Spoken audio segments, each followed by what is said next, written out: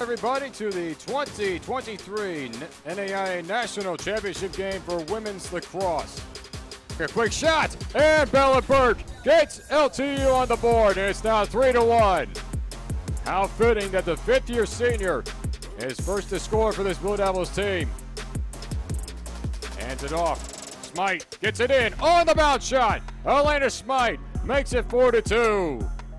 Robinson, their draw control specialist, goes top shelf with that one shot. And it's now 5 to 4. Hand off to Smite.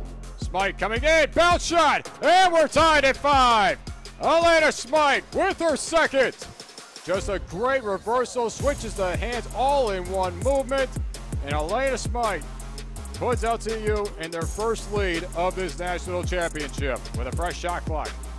Robinson able to get around. Yellow flag is up quickly into Burke, and Burke puts it in. Count it, and it's 7 to 5. LTU leads. Robinson feeds inside to Mitchell. Fake the shot, and Mitchell puts it in. It hit off the post.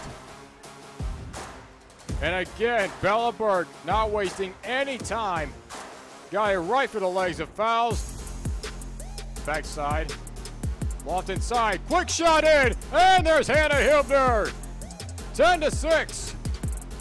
Here to grab it was Mitchell. Mitchell, low shot. And it looked like it crossed the line. And they're going to count it. Right. Around. Bounce shot in. Elena Smite has tied it at 13. Smite with her fourth. Trying to wrap around. Quickly inside to Smite.